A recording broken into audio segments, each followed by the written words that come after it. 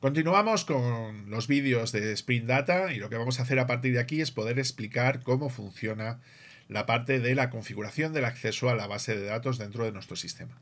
Fijaos, ¿no? cuando nosotros estamos haciendo esto vamos a pasar directamente al código. Entonces, si os dais cuenta, estoy directamente dentro del fichero pom.xml, que es el que me permitiría ¿no? poder acceder a esta parte de base de datos con lo que nosotros necesitamos. Lo que necesitamos es meter esta parte que estáis viendo aquí, que sería meter las dependencias de el Spring Boot Starter Data JPA, como hemos visto. Vamos a meter también la dependencia de H2, ¿vale? Es que en este caso no estoy colocando ninguna versión, lo suyo sería colocarla, ¿no? Trabajar con versiones en concreto, pero bueno, como quiero que este contenido sea lo suficiente como para que dure lo bastante en el tiempo, no, no vais a ver las versiones, pero bueno, más o menos estaríamos trabajando con Spring Boot 3.1, ¿no? Y con las últimas versiones disponibles en esta época de tanto de H2 como de MariaDB, ¿no? que sería esta que estáis viendo aquí.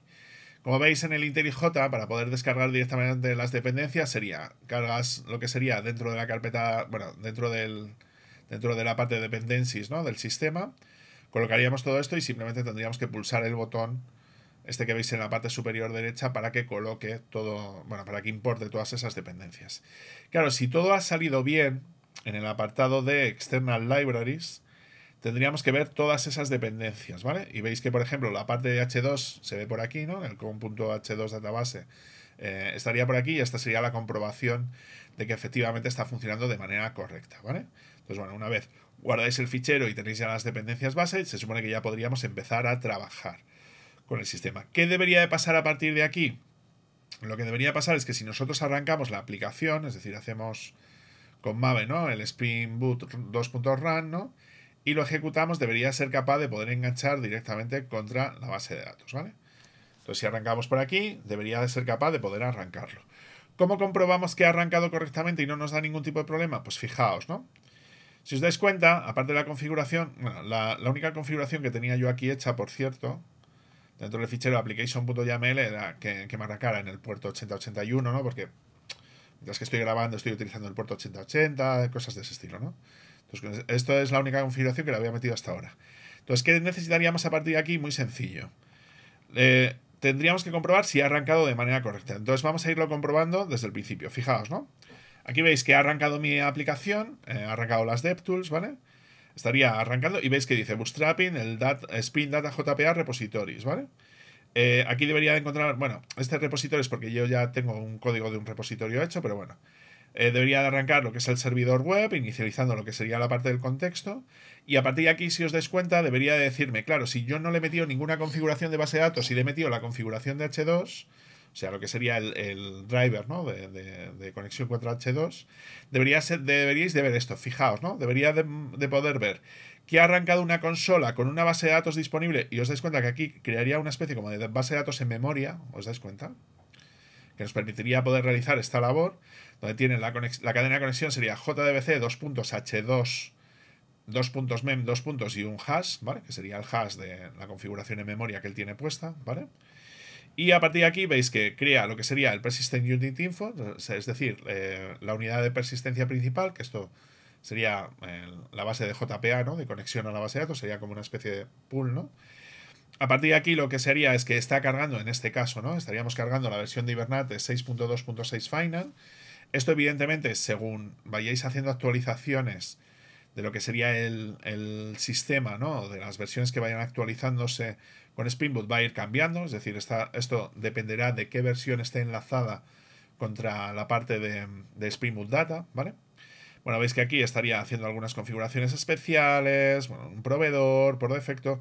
Aquí estaría realizando una implementación por defecto del sistema transaccional que veis que en este caso otra vez no está tirando del, sistema que, maneja Hibernate de base. Y veis que aquí arrancaría todo el sistema y lo pondría directamente a, funcionar. Entonces, ¿qué significaría que a partir de aquí? Pues que esta base de datos tiene que existir y debería estar disponible en este caso, por ejemplo, dentro de esta ruta. Vale, si yo voy a mi navegador y pongo localhost 8081, ¿no? que es donde yo lo tengo puesto vosotros, si no habéis hecho la configuración esa, estaría en el puerto 8080. Y le meto el h2 barra console, Fijaos, ¿vale? Aparecería como una especie de panel de conexión a la base de datos, ¿vale? Donde aquí evidentemente tendríais que darle el driver eh, JDBC al cual se supone que deberíais ser capaces de, poder enganchar, ¿vale? Esto me lo voy a guardar en otro sitio para no perderlo, ¿vale? Esto sería cómo hacer el enganche, ¿no? Para que estuviese en una base de datos normal. Entonces, ¿qué tendríamos que hacer? Tendríamos que enganchar la URL que nosotros nos ha generado, que sería esta, ¿vale? ¿Sí? Y traernosla directamente al navegador, meterla aquí, ¿vale? Y utilizar el nombre de usuario SA y directamente sin contraseña. Si pulsamos en el test connection nos diría que ha sido capaz de poder conectar y si damos a conectar debería de darnos la información correspondiente a la base de datos, ¿no? Lo que sería informes en esquema, usuarios de acceso y todo esto. Y a partir de aquí se supone que deberíamos de ser capaces de poder enganchar y poder ofrecer todo lo que nosotros necesitamos a partir de ese punto, ¿vale? Entonces, si os dais cuenta, con esto lo que hemos hecho ha sido garantizar de alguna manera que hemos sido capaces de poder arrancar nuestra aplicación en base a un driver de H2. Hemos arrancado nuestra aplicación que ha entrado a una base de datos en memoria sobre la cual nosotros deberíamos de ser capaces de poder crear tablas, poder consultar datos, ¿no? todo lo demás.